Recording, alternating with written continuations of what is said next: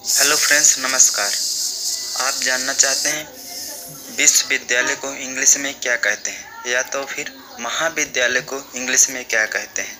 तो आइए इस वीडियो में जान लेते हैं, महाविद्यालय या विश्वविद्यालय को इंग्लिश में क्या कहते हैं। विश्वविद्यालय को इंग्लिश में बोला जाता है यूनिवर्सिटी और महाविद्यालय को भी इंग्लिश में बोला जाता है यूनिवर्सिटी विश्वविद्यालय को भी इंग्लिश में बोला जाता है यूनिवर्सिटी महाविद्यालय को भी इंग्लिश में बोला जाता है यूनिवर्सिटी आइए इसे एग्ज़ाम्पल के थ्रू और अच्छे से समझ लेते हैं।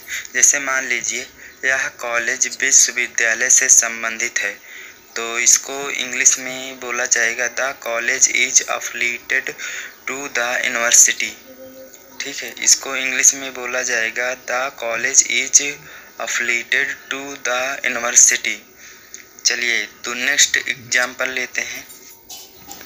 क्या आप कल विश्वविद्यालय गए थे? क्या आप कल विश्वविद्यालय गए थे? इसको इंग्लिश में बोला जाता है did you go to university yesterday go sorry did you go to university yesterday तो बस इस वीडियो में इतना ही। नेक्स्ट वीडियो में फिर मिलेंगे। तब तक के लिए जय Hind. Thank you for watching video